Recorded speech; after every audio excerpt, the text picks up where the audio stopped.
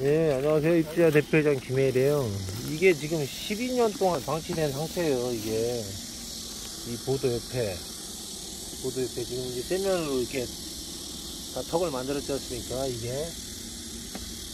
지금 이 상태인데, 이거보다 더 심했죠.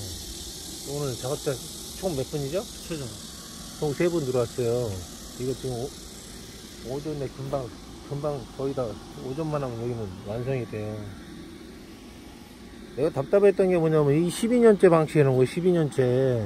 누구 원인 따지고 이런 걸 따지고 속이 막 뒤집어질 거고.